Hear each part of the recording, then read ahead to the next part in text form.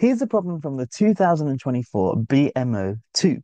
We want to find all functions f from the integers to the integers such that for all integers n, two lots of f of f of n is 5f of n minus 2n. I'm going to dive into a solution here. Well, we might think about various things to do here. We could try and plug in some numbers n, which is a pretty standard way to do this. You could plug in n is 0 or n is 1 or what happens and its n goes to infinity or, you know, just play about with this. And that's a generally, you know, a well-accepted standard way to start, you know, thinking about these sorts of problems.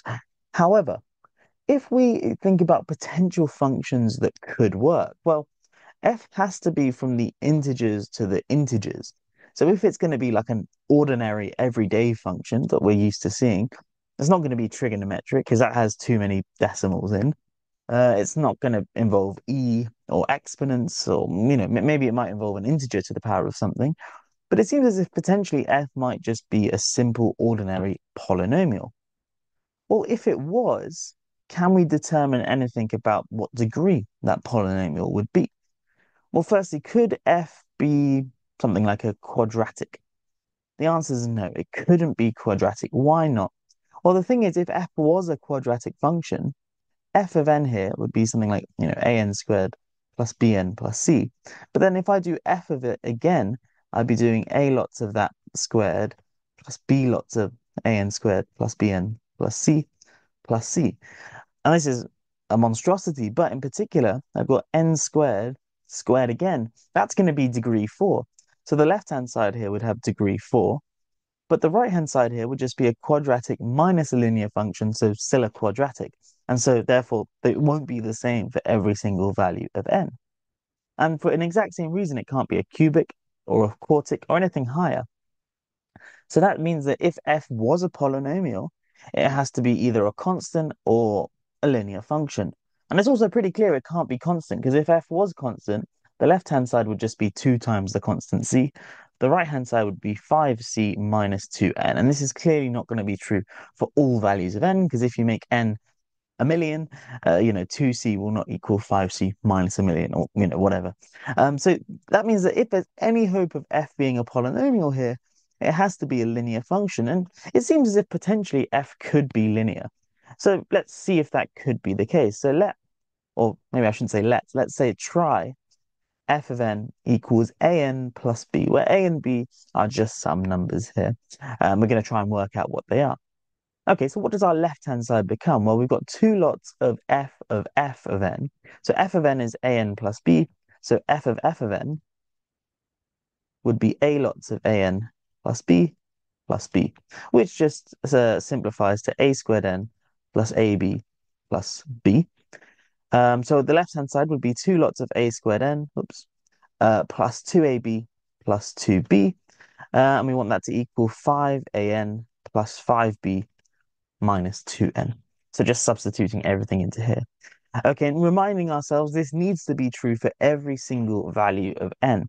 Let's um let's simplify this. So if I bring everything onto the left-hand side here, I'm going to get 2a squared minus 5a uh, minus 2 lots of n. So bringing all the n terms to the left. And then if I bring all the constant terms, that's going to be 2ab uh, minus 3b. And that all equals 0. Now, again, we're going to remind ourselves this has to be true for every single value of n. And this thing here is just a linear equation in n. It's something, you know, it can be written in this form, lambda n plus mu, if we just call that lambda and that mu. And we're saying that this has to be zero for every single possible value of n. So that makes it hopefully pretty clear that lambda and mu must be zero. Um, and if you're not convinced by that, let's let's firstly show that lambda must be zero. If lambda is not zero, then let's say I know, lambda's five, then I could just make n, you know, a million, a billion, whatever, and eventually it will outweigh the mu, and it won't be able to be zero. You know, five times n plus mu will not be able to be zero. So that means that lambda certainly has to be zero, and once lambda is zero, you must get that mu is zero as well. So lambda and mu are both zero, and so from this we can then deduce that 2a squared minus 5a minus 2 equals zero, um, and now if we just solve this quadratic, you get a is 2 or a is a half. So a is either 2 or a is a half. And um, it's hopefully not too too difficult to see that, well, a cannot be a half. Because if a was a half, our function would be f of n is, you know, a half n plus b, but then it wouldn't be from the integers to the integers. Because if you plug in something like n is 1, this would be b plus a half, and so it couldn't be an integer. So that means a is not a half, a must be 2. So we have that f of n is 2n plus some number b. Let's work out what b is by using this guy here. Well, we can just factor out the b. And we get b times 2a minus 3 is 0. Well, we now know a is 2, so we get 4 minus 3 in there. So that's going to be just b is 0. Very nice. So a is 2 and b must be 0. So if there's any chance of this working for a linear function, f of n has to be 2n plus 0, so just 2n. And if you want to, you can just plug this back into this and just verify that it does actually work. But it actually should work, even if we didn't plug it back in, because everything we've done here is kind of reversible. So all the steps we've done here, we can kind of go backwards on. Um, so it's not just a one-way implication, it's a two-way implication. Anyway, great. We found one function, f of n, that works. Now, from our earlier analysis, where we were looking at this equation here, and we kind of established, well, f of n couldn't be quadratic, it couldn't be constant. Um, the only possibility was it's linear. From that analysis, we get the feeling that there can't be many more functions f of n that work here. And in fact, there aren't any more. In fact, this is the only one f of n equals 2n. So in order to prove that f of n equals 2n is the only solution to this equation here, we're going to be assuming there's another solution and actually showing that that solution must be 2n in disguise. So let's suppose f2n is some other solution. So f2n is another solution.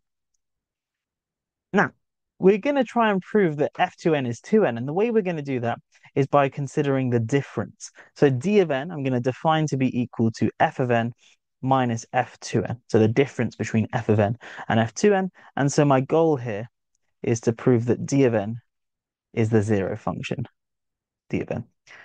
Okay, how do I go about doing this? Well, if I rearrange this here, I get f2n is simply f of n minus d of n, and we know f of n is 2n, so this is just 2n minus d of n.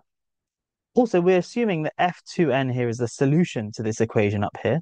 So therefore, when I substitute uh, or replace f2n with 2n minus dn, this equation will remain true. So on the left-hand side, I have 2f2 and then this f2 of n is going to be 2n minus d of n, like so. And then I've got equals 5 uh, f2 of n, so 5 lots of 2n minus dn minus 2n. And then this right-hand side, if you imagine expanding this, 5 times 2n gives us 10n minus this 2n here is 8n. And then I've got minus 5 dn.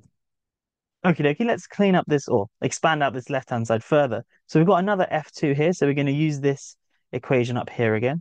So this is going to be two lots of, now f2 of 2n minus dn, if we substitute that in here, that's going to be two lots of 2n minus dn, uh, and then minus d of this number here, so minus d of 2n minus d of n. So it's getting a bit weird looking, but that's fine.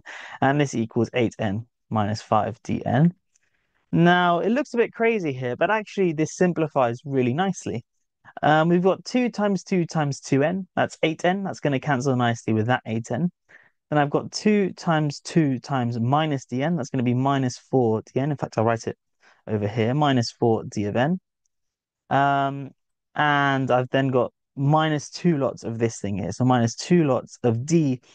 And now this thing here is 2n minus d. And it turns out I actually don't really care about that. I'm just going to call it xn. So xn here is just this number. So I get minus 4d of n minus 2dxn equals minus 5dn. And then just cleaning this up gives me that dn equals two, uh, two lots of d of xn. Pause! I've decided to set up my own tutoring company to help you study maths at a top university. So if you like the way I explain things, go check it out. Let's get on with the video. So d of n equals two lots of d of xn. Why does this mean that d must be the zero function? Well, remember this equation here is true for any integer n. So you can choose your favorite integer n, doesn't matter, this equation will be true.